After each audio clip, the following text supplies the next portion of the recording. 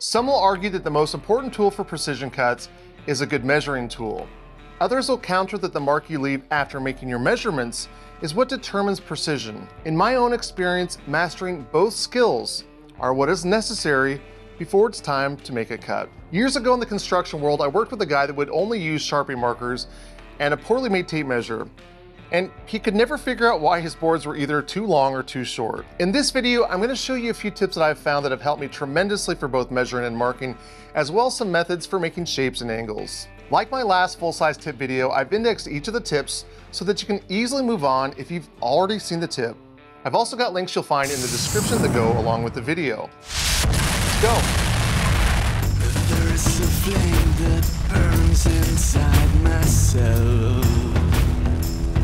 I think it's time to get rid of these once and for all. Dull points make fat lines, and fat lines are nothing but trouble in woodworking. Sure, if you're building a deck and you're fighting rough lumber, these guys make sense. But thick lines can mean the difference between a tight fit and a loose joint slipping. I gave up my beefier pencils and replaced them with inexpensive mechanical pencils. It's hard to beat a 10 pack for less than a couple bucks. But if you want to get really cutting edge lines and perfect joints, grab yourself a blade and score. I bought one of these Kiridashi knives and it gets me right next to the wood. If you're worried about seeing what you've scored, grab a mechanical pencil, angle it so that you're getting the edge of the point, and lightly scribe over the top of your recent cut. You'll get the thinnest lines you could ask for.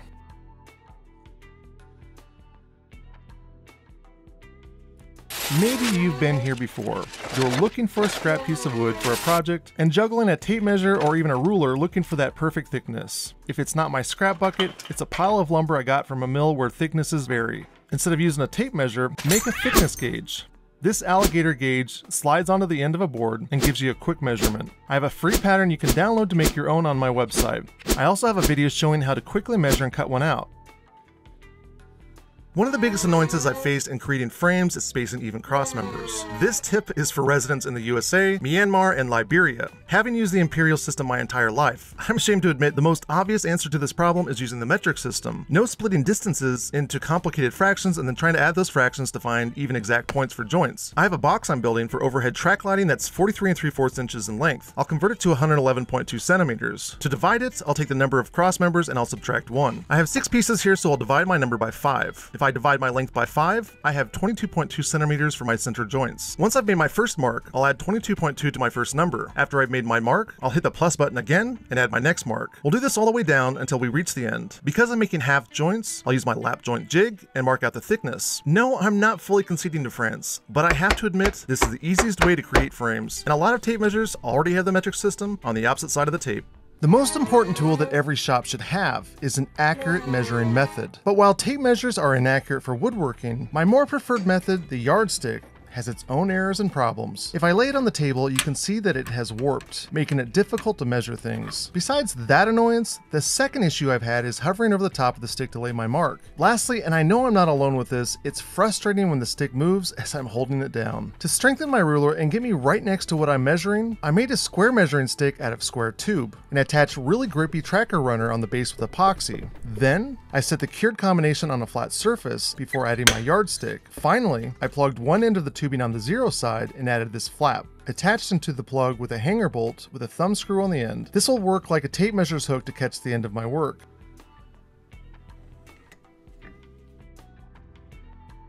Years ago, I did a bite size on paint transference. It goes like this. Add paint to the back of something and press it against something else to leave a mark. This works great if you need to leave a blind mark to hang things, like a pattern. Does it work? It's hit or miss. But I found a better method. I found a roll of sticky foam from Amazon which I'll cut a square from and use a hole punch in the center. I'll place it over a hole pattern I want to drill out. Alternatively, you can use mounting foam tape. Once you've attached it to whatever you want to transfer a mark from, you'll use a marker on the opposite side. Confused? Let me give you an example. I have this thermometer I want to hang on the wall. It has two keyholes for screws, but who wants to measure out the distance between both holes? Instead, I'll take a couple of these squares, punch a hole through the center, and attach them directly over the screw holes. Now, I'll use a permanent marker and mark the side away from the thermometer. I'll find where I'd like to place it on my wall and press down. I can now know where to drill for my anchors. The one drawback, of course, is that you'll be leaving a mark behind, but if you're already covering the wall, this shouldn't be much of an issue.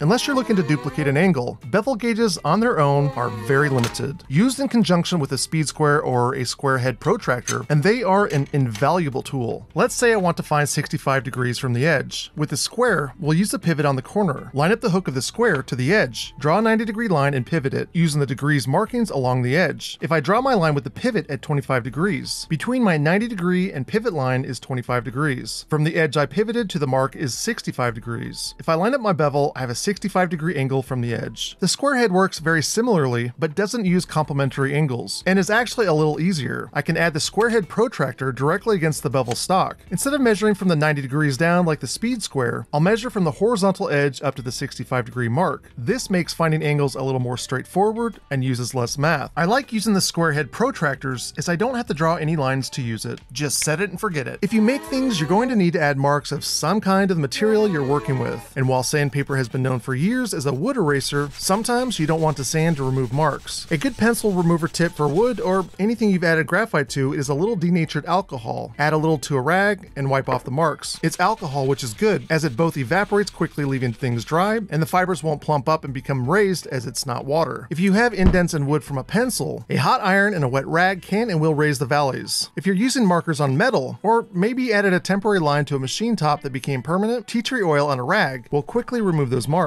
Tea tree oil is so good at penetrating things that a single drop on a balloon will pop it. But because it's an oil and doesn't evaporate very quickly, it's a terrible thing to use with wood.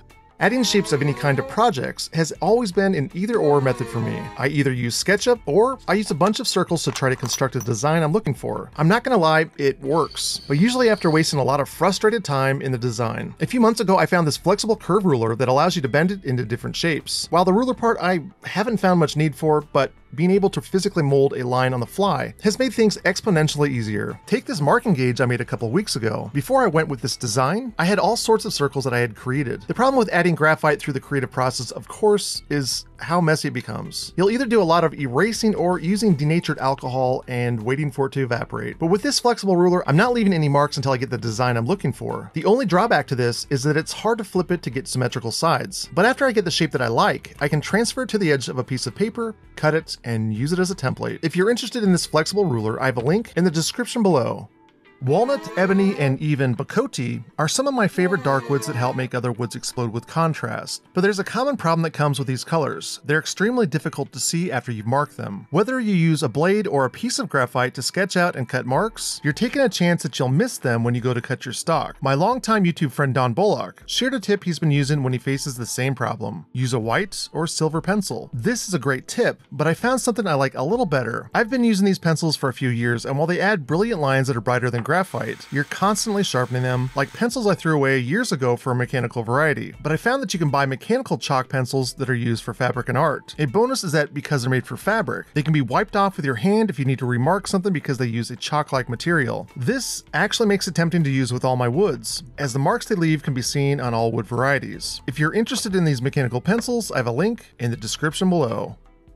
A fairing stick is a thin strip of wood that, when bent, creates a curve between two points. They're often used to make arches and furniture where finding a curve would be difficult. The standard way of making these is to use a piece of hardboard with a couple holes drilled on either end. A string is strung through the holes and through a smaller strip. After a few knots, you'll have a bendable piece that you can shape and a locking strip that's loosened and tightened by pulling on the smaller strip. This is complicated though, and we can simplify it with a ceiling fan pull string. After I've cut my hardboard, I'll taper the ends with a sander of some kind. With a bandsaw, I'll replace the holes from the last stick with slits. Test the taper of the ends to see if the pull string fits, and really, that's it. Because hardboard can be weak, there's another stronger stick shape you can use. I'll start with a piece of hardboard that's 2 inches wide and mark up either end a half of an inch, connecting the center and cutting it on the bandsaw. This will give you tighter curves, as well as a strong fairing stick. However you choose to make yours, be sure to store yours flat or they will warp in time. If you're framing a wall in a home, you start from zero, move in either 16 or 24 inches, and add a stud. You can continue this process until that sequence is impossible to follow. For example, a 5 foot wall can take two studs spaced at 24 inches apart, and then you finish the frame on the end. This creates odd spacing that isn't symmetrical. Of course, to finish the wall, we add drywall, which hides the skeletal frame of the wall. If you're building fine furniture, a symmetrical system of additions is what can sometimes make or break your project aesthetically. It took me years to figure this trick out, even though I know it's a relatively known trick. If you need to space objects between two points evenly, take the number of objects that will be added and add one. I wanted to add three machine screws between a four and a quarter inch handle. Like bite size number 110, I converted my inches to metric and divided by four, which is, of course, one more than three. That gives me 27 millimeters, allowing me to evenly space my screws. I wish I would have known this many years ago when I experimented with spacing until I found even distances. If you need to space three objects along a plane evenly, we add one and divide the length by four, as we talked about in bite size 187. But how do we space marks evenly around a circle? I have a project that calls for making a pentagon out of a 12 inch circle disc, but how do I find five different points on that circle? One way is to take 360 degrees, which is the degrees in a circle, and divide it by five equal parts we need. 72 degrees would be our answer. After drawing a radius, I can use a protractor to add lines every 72 degrees. Of course, this works, but if you don't have a protractor, here's another way. I'll take a piece of painter's tape and wrap it around the sphere that I made. After removing it, I'll measure the length of it in millimeters and divide by 5. I'll space my number equally, place my tape back on my circle, and add my marks. The beauty of this system is that I can easily take any equilateral shape and precisely divide it into sections. And I'm not marking the face of my project, which means I don't need to clean it up later on. Thank you so much for watching. I'm thrilled you could join me. If I've shared an idea that you could use, please let me know what it was in the comments below. I'd like to thank my patrons that help me continue measuring and making marks and invite you to become a patron. You can find a link to my Patreon below in the description. Thank you. Michelle B., Keith Current, William L. McNally, Jerry Adams, Zach Finch, Rich Lightfoot, Tutor the Barbarian, Mike Lornitis, Les N., and Gary G. Hit the thumbs up, subscribe, and ring that bell. And I thank you so much for being a part of my shop. Please leave a comment below. Come find me on Instagram at Make Things with Rob. And remember to keep making things